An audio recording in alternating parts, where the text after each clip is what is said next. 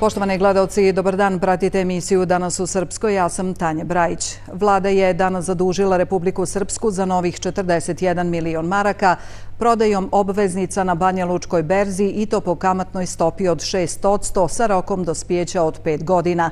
Vlada Srpske se i prije nekoliko dana zadužila prodajom trezorskih zapisa isto za 41 milion maraka.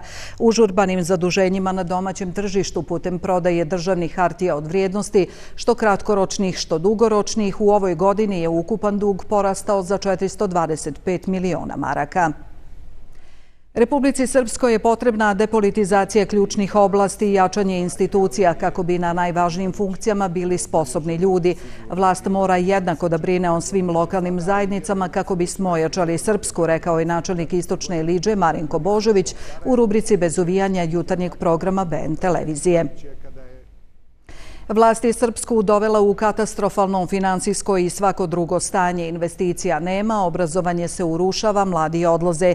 Inflacija uništava budžet porodica koje jedva preživljavaju. Rješenje postoji, ali ono mora da bude sistemsko, rekla je Milica Radovanović, viši asistent na fakultetu za proizvodnju i menadžment u Trebinju u jutarnjem programu BN televizije.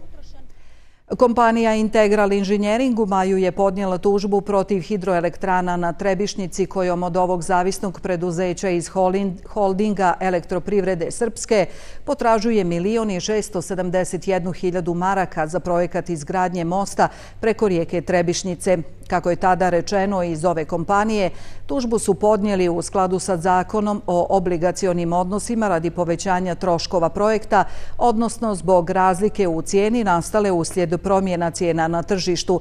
Predmet je na okružnom privrednom sudu Trebinje, a pripremno ročište trebalo je biti održano jutros, ali je, kako saznajemo, otkazano za 30. oktobar. Vozilima oružanih snaga BiH danas je u Banja Luku stigao izborni materijal, odnosno glasački listići za predstojeće lokalne izbore koji će se održati u nedjelju 6. oktobra. Naime, transport glasačkih listića odvija se uz policijsku pratnju iz prisustvo službenika Centralne izborne komisije BiH koji su zaduženi za primopredaju materijala. Transport se odvija od skladišta Centralne izborne komisije do sjedišta opštinskih i gradskih izbornih komisija koje su smještene u zgradama opština i gradova bez dolaska na biračka mjesta.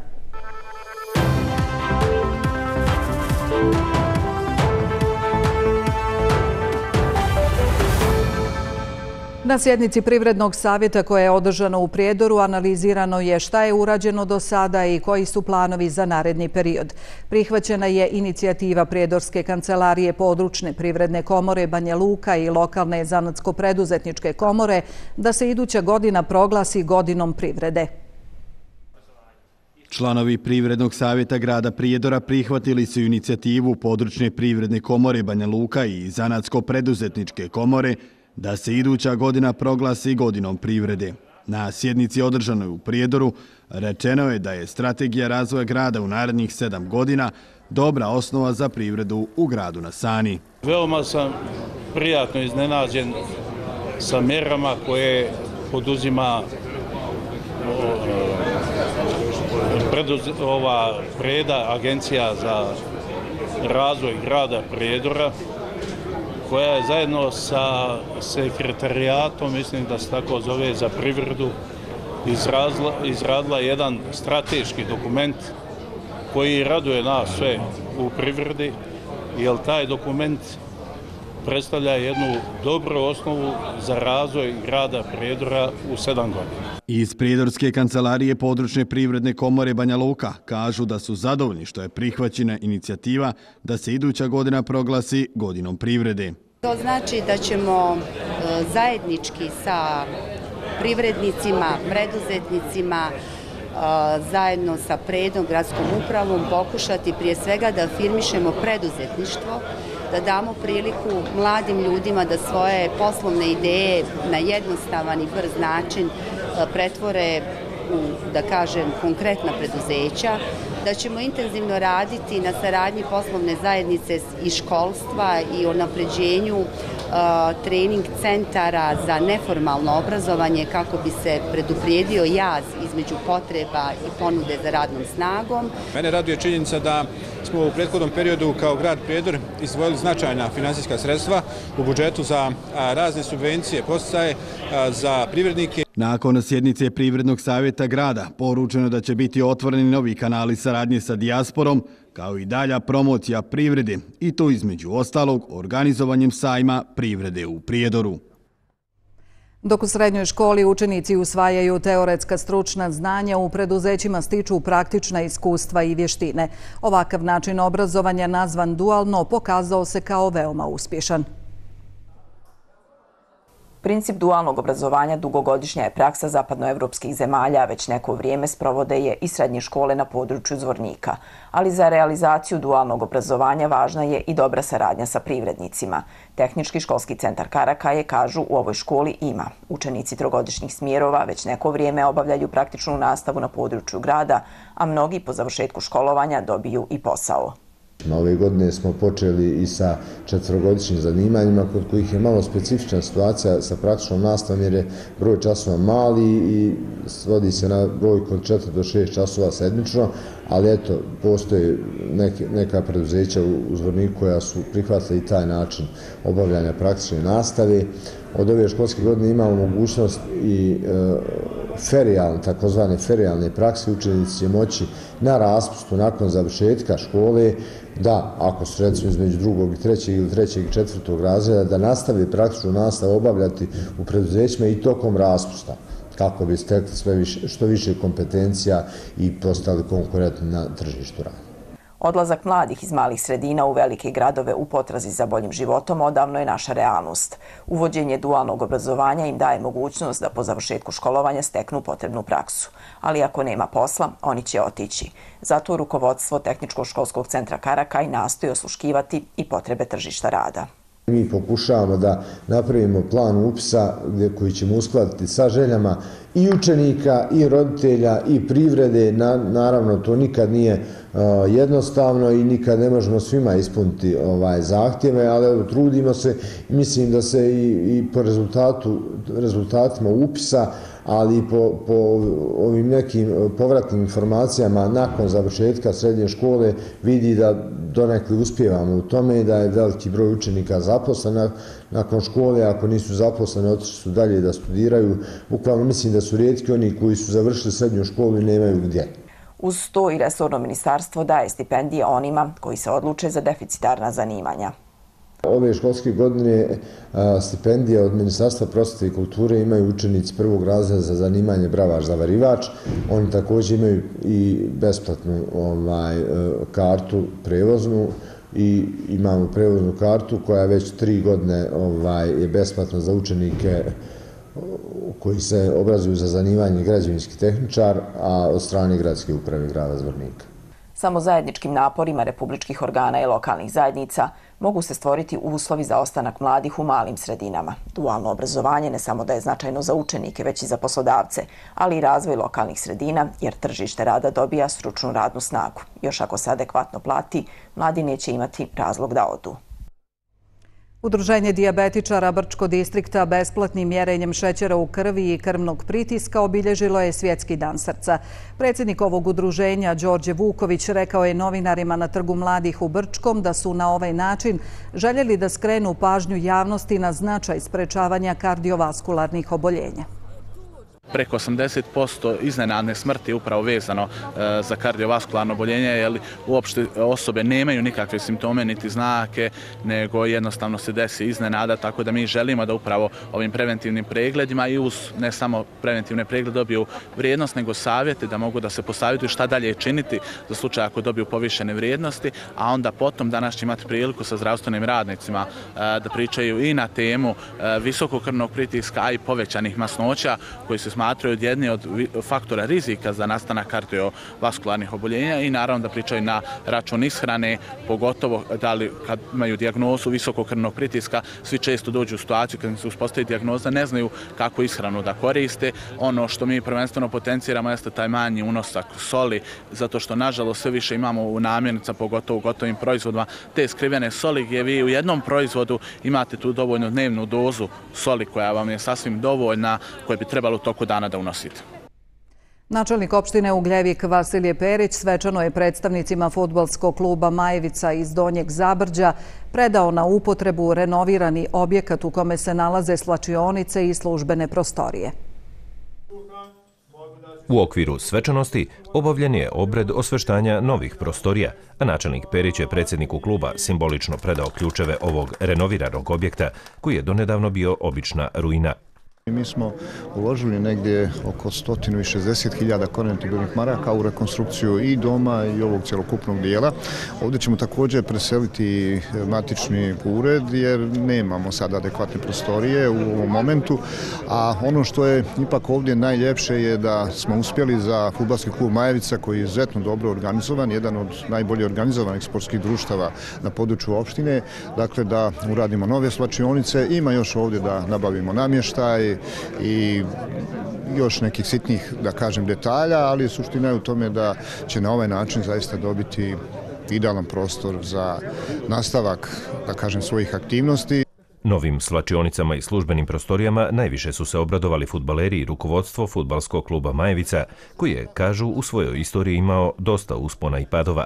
Opština Ugljevik i načelnik naš su nam zaista velika ovaj, e, podrška u samom funkcionisanju kluba i e, domom priliku želi da im, da im se zahvalim. Sigurno je da je cilj naš da u budućnosti e, podignemo sam, sam nivo funkcionisanja kluba i da živi ova naša priča. Načelnik Perić je naglasio da opština Ugljevi kontinuirano ulaže u sport i sportske objekte, a do sada je uređeno ukupno 14 futbalskih igrališta sa pratećom infrastrukturom, te da će ovakve aktivnosti, shodno potrebama građana, biti nastavljene i u narednom periodu. U Predoru je održano predavanje za članove Udruženja uzgajivača ovaca i koza Republike Srpske na temu kvaliteta jagnjećeg i ovčijeg mesa, obnovi pašnjaka i savremenim trendovima u ishrani ovih životinja. Slavko Eleksa Pala ima 150 grla ovaca. Kaže da biti farmeri nije teško, ali gorući problem je radna snaga. Sa tržištem, odnosno prodajom jagnjadi, ističe da nema problema. Ovčarskom proizvodnjom bavi se i Siniša Glušica iz Kostajnice. Nije teško biti farmer, ali nema dovoljno radne snage. Znaš. Recimo ako kuća koju ja sad recimo imamo supruga, čerka, ja da imam recimo još radne snage. Ja recimo mogu da idem na jedno 200 vaca, 300 vaca, ali znaš, ne mogu to da ukomponujem nikako. Nema, nema dovoljno radne snage. Kroz druženje, kroz ovu grupu cijele Republike Srpske, mnoga znanja sam stekao i tako da kad mi nešto recimo zahvali nisam u toku nešto ima i tu i drugovi moji koji mi objasne, kažu i tako da puno na to pomaže. Uzgojem ovaca se bavim nekih 40 godina, to je već tradicija u familiji. Ovaj, trenutno sad e, držim Winterberga ili de Franca, e, ima u stadu negdje oko 200-210 e, grla. E, ove godine prodaja janjad je išla dosta dobro, dobra je cijena bila. Što se tiče ovih predavanja i toga, to je jako dobro i trebao treba biti češće, bar dva put godišnje. Udruženje uzgajivača ovaca i koza Republike Srpske organizovalo je druženje i predavanje na temu kvaliteta jagnjećeg i ovčijeg mesa, obnovi pašnjaka djetelinsko-travnim smjesama, te o savremenim trendovima u ishrane ovih životinja, uz primjere i iskustva iz susjednih zemalja. Podrazumeva znači, intenzivno, intenzivan uzgoj e, mlečnih e, ovaca, isto tako jagnjadi, gde hrana nije uglavnom zasnovana na pašnom sistemu, već su u upotrebi kompletne dopunske krvne smese kao i mineralno-vitaminski dodaci. Uzgajivači kažu da je danas gotovo sramota držati ovce i koze, jer to nekima, kako kažu, vuče na sirotinju. Nakon perioda korone, koja je teško pogodila stočare, stanje je danas mnogo bolje. Iz Udruženja uzgajivača ovaca i koza Republike Srpske ističu da je i cijena grla nešto bolja u odnosu na prethodne godine. Unazad godinu dana nas je korona uništila ovčarstvo više nego narod. Restorani prestali raditi, cijene pale, uvoz i sad je došlo do toga da je jagnjetna 9 maraka. I to je solidno, ko ima stado od 200 komada, troje djece i familiju, ne treba ići u inostranstvo, može živjeti ovdje solidno od toga. Ovčarska proizvodnja u Evropi je nisko profitabilna grana, a u Republici Srpskoj i Srbiji generalno je pocijenjena, rečeno je na ovom predavanju u Prijedoru. Slična edukativna predavanja prethodnih godina održana su u Sokolcu i Gradišci. Turizam je u pojedinim zemljama u našem okruženju, poput Crne Gore i Hrvatske, osnovna grana privrede na koju se oslanjaju sve ostale.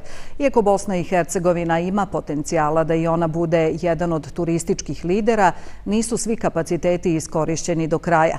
S tim u vezi Svjetski dan turizma obilježen je u Brčkom kako bi se podstakao razvoj turizma u našoj državi. Turizam nije samo grana privrede zadužena za promociju određenog kraja. Turizam je mnogo više.